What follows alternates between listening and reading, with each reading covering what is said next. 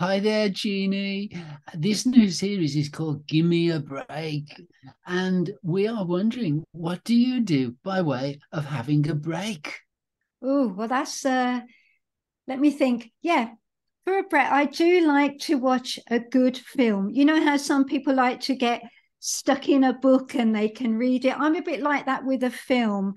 So I enjoyed that. I haven't got hobbies like sewing or painting but I do enjoy cooking.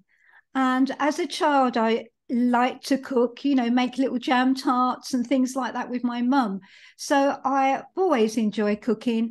And sometimes I really like the challenge of a more difficult recipe as well do you know they do say that the way to a man's heart is through his stomach. And, uh, and i can attest to the fact that your cooking is excellent particularly you. your baking jeannie. I know it's not just me though because i know many people in the local area are very grateful because you give them cakes too yeah, I do. I really enjoy baking cakes for other people.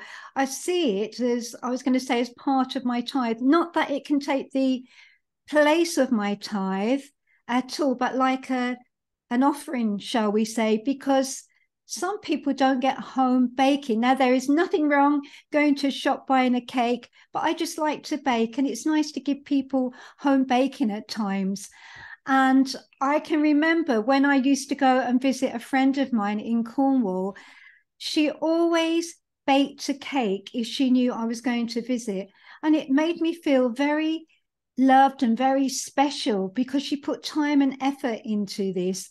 And it was always a really lovely thing to do and uh, have with a cup of coffees and catch catch up with her. So yeah, was good. So may, maybe you caught the flame then that ignited your passion to give people nice edible cakes and different uh, things from from that lady who first inspired you and made you feel good about it. Yeah, for sure. And as I say, with my mum as well, as a child, loved baking. So yeah, the both.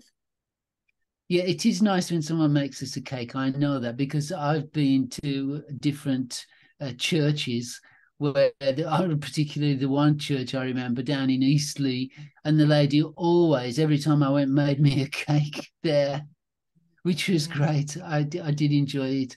So, do you think it's a, a witness to um, the love of God to, that you give away your cakes to people?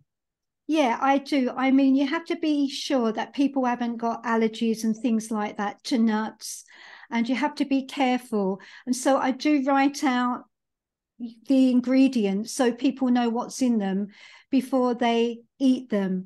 And I think that it is a way of showing someone that they are thought of and cared for. So, yeah, I do do it as part of my witness for the Lord in this way.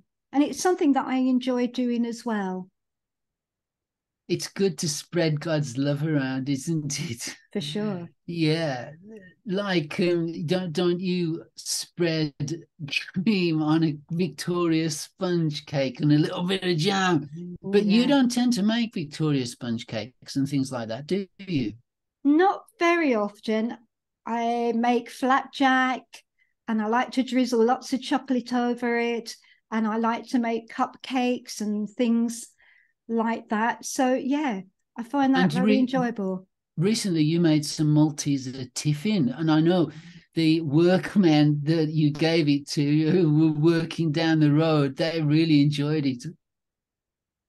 Yeah, I think people really enjoy that because it was very easy to do, but it looked really pretty, really nice, you know, and it was very chocolatey. And I think people really enjoyed that. So that was good. I'm glad they liked now, it. I know also, Jeannie, firsthand experience that you make absolutely excellent bread. And that's not easy because I have tried in the past and my efforts are pitiful. But your bread is so nice and and it tastes better than the bread that you buy in the shops. So, uh, uh what's your secret, Jeannie? Follow the maker's instructions, I would ah, say. Okay. And we have to follow God's maker's instructions, don't we? God's our maker. We, and we have to follow his point. instructions in our life because he's given us his word. So, yeah. So that's where I'm going wrong. Maybe I get the temperature of the bread wrong or put it somewhere. I know, don't you put it in the airing cupboard sometimes? I do because the bread likes the warmth for it to rise. It's quite funny, really, because when you make bread, you think it's doing nothing, absolutely nothing. And then you leave it for a good hour, hour and a half to rise. And it's beautiful when it has risen. And you look at it and you think it's never going to do that, but it does. And I was thinking about this, Paul, because it's like our spiritual life in some ways. You know, we there we are, and then God starts dealing with things in our own life and sometimes those things take time for us to mature. But it's really good that the Lord helps us because of his love and grace and mercy in our life, how we too can change, just like I see that bread change as well.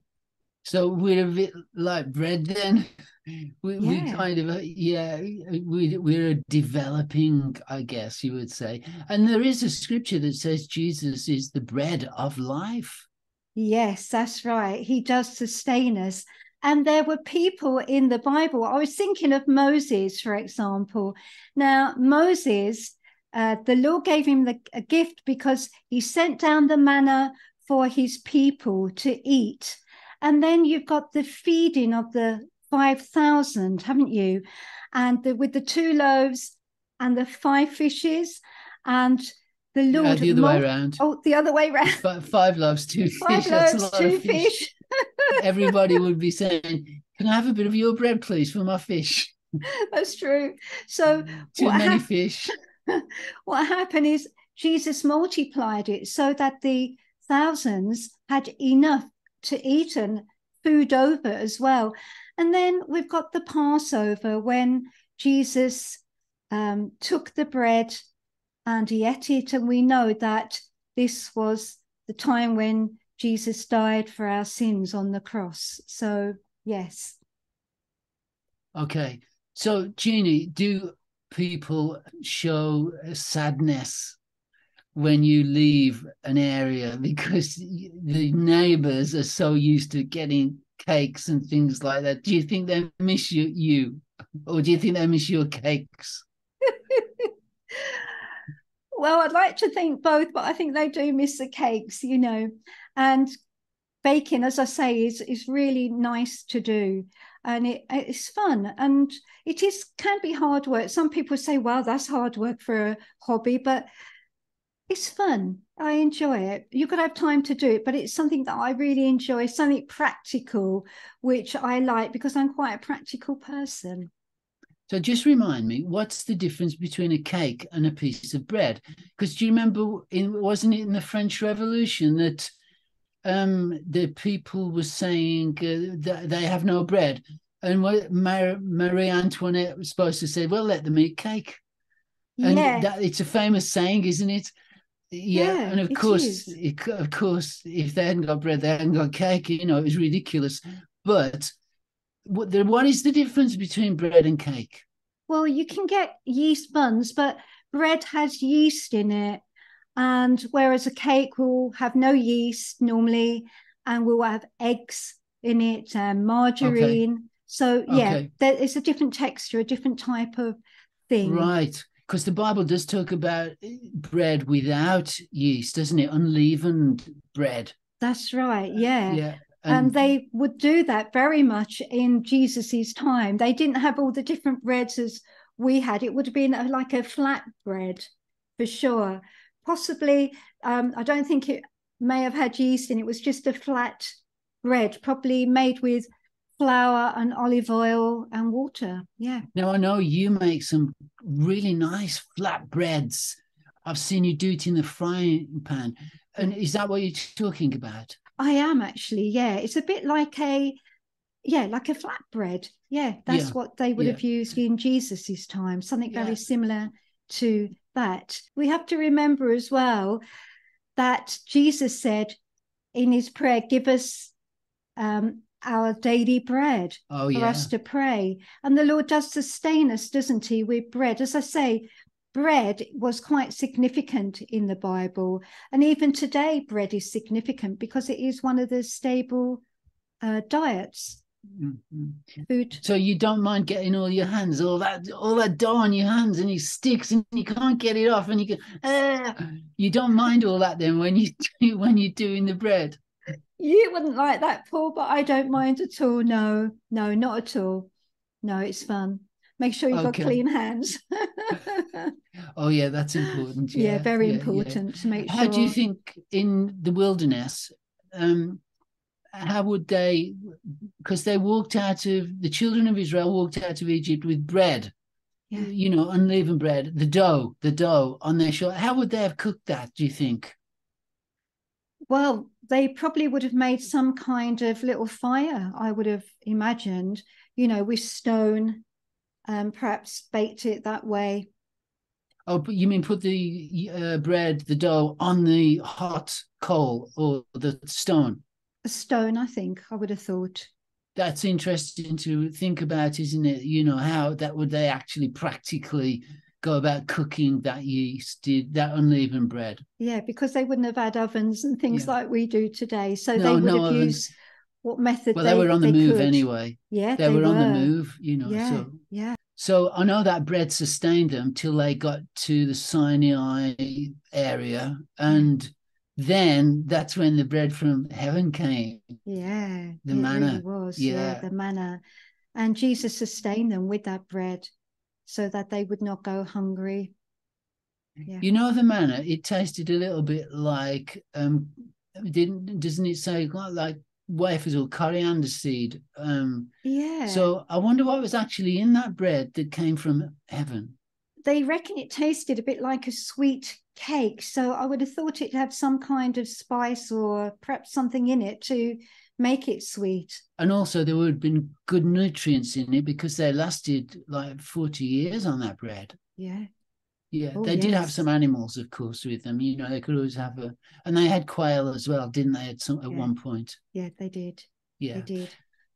Okay, Jeannie. Well, that's great. I'm losing my earpiece here. So it's um so I'm looking forward to eating some of nice bread. So Great, fine. yeah. So that's been great talking to you about what you do in your break. So Thank you, Paul. Thank you, Jeannie. Thank you. Thank you.